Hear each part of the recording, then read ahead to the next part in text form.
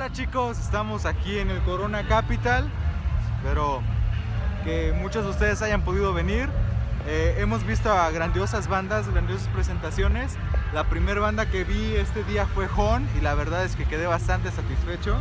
No los conocía personalmente, nunca los había escuchado, pero me impresionaron. La segunda banda que escuché fue Whitney y vaya, increíble. Desde su álbum debut sabía que esa banda daba para grandes cosas y la verdad es que en vivo son una experiencia increíble. Ellos son bastante carismáticos, se ganaron al público totalmente, son bastante como, no sé, como que te transmiten esa buena vibra sin siquiera estar realmente platicando con ellos. Después vimos a Wash Out, un espectáculo psicodélico, creo que es la palabra correcta para llamarlo. Psicodélico, eh, juego de luces, juego de pantallas, la música creaba atmósferas, fue increíble. Les dejaré algunas imágenes sobre cómo fue la participación de Whitney, cómo fue la participación de Hon, incluso la participación de Wash Out. El sábado y domingo pasados, la curva 4 del Autódromo Hermanos Rodríguez se llenó de sonidos y potencia. Yo solo pude asistir el día domingo, así que le saqué todo el jugo posible a esta experiencia. Mi recorrido por el día domingo fue algo más o menos así. Empezamos con Hon, en ese mismo escenario pudimos disfrutar a Whitney, trasladarnos a la presentación de Wash Out, correr a ver The Drums y de ahí el plan original era descansar un poco, recargar la pila y entrarle con todo a Grizzly Bear y terminar con Phoenix. Aunque después de The Drums pudimos escuchar un poco de Group Love y a Color Kids. Y antes de Phoenix pudimos ver un poco de Al J. Incluso al final de todo vimos un poco de Green Day.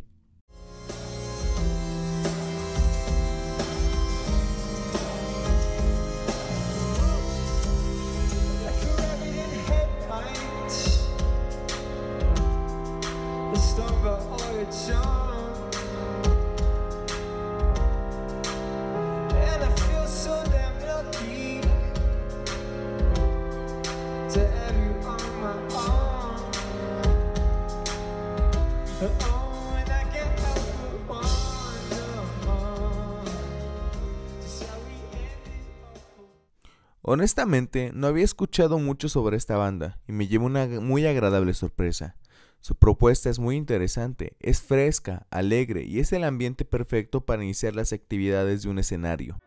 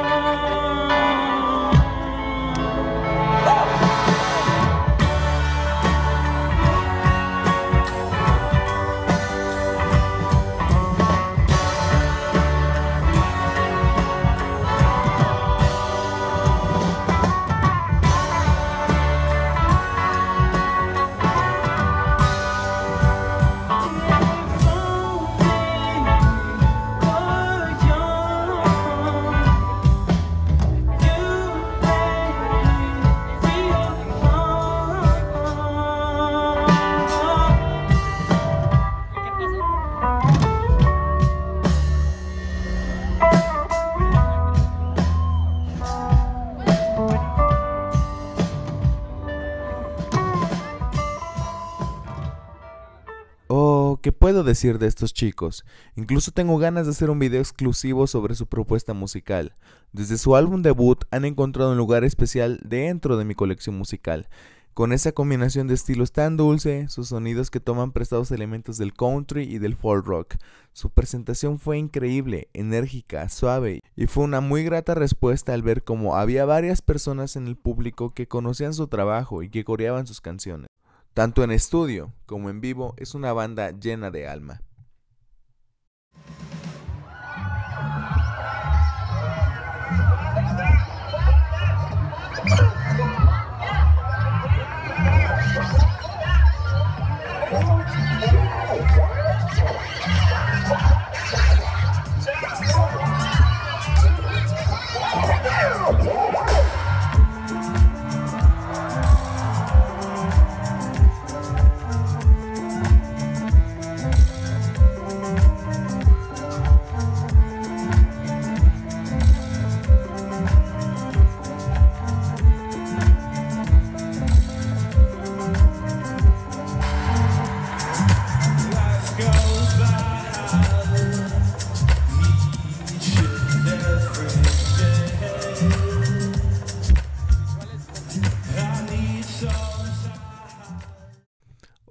Cielos. Alucinante es la palabra correcta para describir la presentación de Ernest Green. El uso de luces e imágenes mezcladas con el ambiente de la gente hicieron de esos 50 minutos una muy grata experiencia. El chill wave pop de este proyecto brilló con toda esa estética psicodélica que aunque sencilla era propia para el estilo.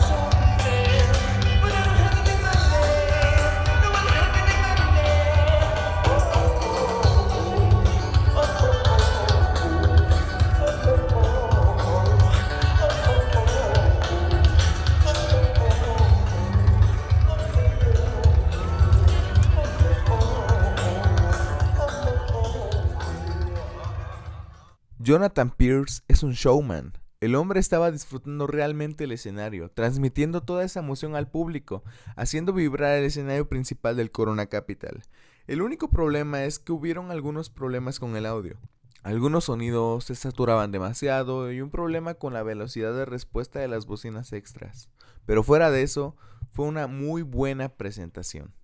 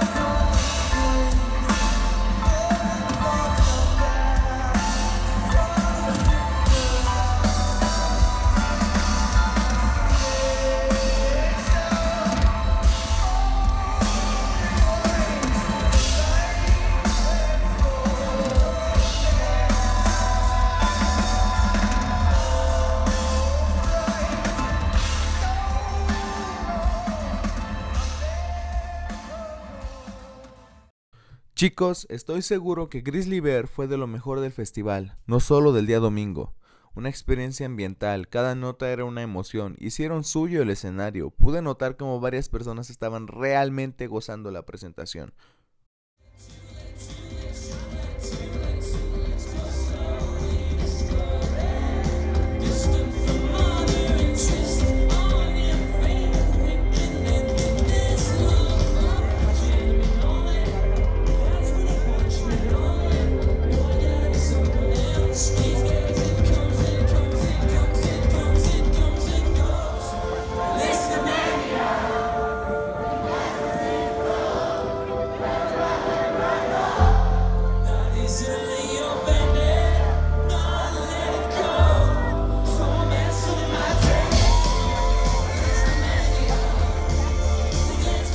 Phoenix era de los mayores atractivos del festival. Muestra de ello es como todo el escenario estaba a reventar. Miles de personas coreaban sus canciones, la banda empatizando con el público, el público empatizando con la banda. No es broma, una chica a mi lado casi me rompe los oídos en Entertainment. Realmente fue lindo escuchar a todo el escenario cantar el coro de sus temas. Por ejemplo, Listomenia, miles de personas cantándola, cual himno. Al terminar de ver a Phoenix vi un poco de voice noise. Aunque el juego de luces y visuales era bastante genial, las mezclas de verdad ponían ambiente, pero bueno, creo que eso es lo apto para una presentación de música electrónica. Y ahora, para hablar sobre el show estelar del día, mencionaré la historia de mi primo Monchito. Su intención era solo ver a Green Day. Aún así, me acompañó a ver a Hon, Whitney y Washout. Presentaciones que él realmente disfrutó, pero su corazón estaba con Green Day, su banda favorita desde la secundaria, así que cuando fui a ver a The Drums, al escenario principal, ahí nos tuvimos que despedir. Muchos podrían decir que qué hueva con Green Day o qué onda con la gente que solo fue por Green Day. Bueno, he aquí las dos caras de la moneda. Green Day es de las bandas más influyentes y longevas de los últimos años. Tenían 13 años sin pisar México. Tienen una de las fanbases más grandes a nivel mundial. Era obvio que mucha, mucha gente iba a ir solo por Green Day. Y su presentación de 3 horas para esa fanbase fue la maldita Navidad adelantada. Un espectáculo con regalos, bastante, bastante interacción con el público, lanzallamas, fuegos pirotécnicos, incluso una chica del público se llevó la guitarra de Billy. A todo esto, se puede decir, carajo, eso fue brutalmente épico, si eres fan de Green Day. Pero, si no lo eres, pudiste ser de esas personas que se burlaron de la gente que iban a ver a Billy y compañía. O a la gente que mientras algunas personas disfrutaban la presentación, gritaban, Green Day apesta. Ahora, quizá puedes decir, oh pobres fans de Green Day. Pero algunos de estos fans fueron groseros e intolerantes con otras personas. Echaron raíces enfrente del escenario principal desde temprano, impidiendo que quizá el mayor fan de The Drums, de Crystal Fighters o The Shins pudiera ver a su banda favorita lo más cerca posible. Incluso fueron groseras con esas personas que querían llegar hasta adelante. Y el acto más reprobable, abuchear y despreciar la música de The Shins. Y con esto quiero resumir un poco la experiencia. Lo mejor del día domingo del festival sin duda fue Grizzly Bear, All J y a mi parecer y a mis gustos la presentación de Whitney. Estas tres se ganaron mi corazón, aunque como lo comenté, para quienes les gusta Green Day, fue por mucho lo mejor del festival e incluso de los mejores conciertos a los que han ido. También cabe aclarar que disfruté bastante la presentación de Washout y por lo que se vio el ambiente estuvo genial en Phoenix. Y ahora, lo peor del festival en general. La falta de respeto de muchas personas. En mi caso, cuando Whitney terminó de tocar, todos los fans de Dua Lipa, que eran un mar de gente, empezaron a empujar y meterse de la manera más grosera posible hasta el frente del escenario. Incluso rompieron los lentes de mi novia. Bueno, quizá puedas decir, es que eso siempre pasa en un festival de música o en casi cualquier concierto masivo. Y yo te responderé que en este mismo festival hubo gente muy educada que pedía permiso al pasar. Incluso lo hacían de la manera menos agresiva posible. Es muy triste que veamos normal el actuar como animalitos, el no tener respeto por los gustos de los demás y no tener al menos la intención de decir con permiso y por favor. No, no considero que algún acto musical haya estado mal. Los gustos son gustos, la música es hermosa y poder ver a una gran banda en vivo es realmente genial. Solo busquemos ser más respetuosos y educados. Al final, todos queremos pasarla bien. Eso es lo que puedo decir sobre la experiencia del día domingo del Corona Capital. Realmente me hubiera encantado poder ver a Metronomy, Mogwai o The XX, incluso a Foo Fighters, pero el mismo domingo me quedé con ganas de escuchar a muchas más propuestas. Ah, será para la próxima. Si quieres escuchar una reseña mucho más completa sobre los dos días de actividades del Corona Capital 2017, visita el canal de Crazy Redeems Music. Estoy seguro que ellos darán una muy buena opinión. Gracias por ver este video. No olvides suscribirte y compartir el video con tus amigos. Acá está Michi, saluda Michi. Ahí está Michi. Michi es la principal persona que se estaba muriendo de frío.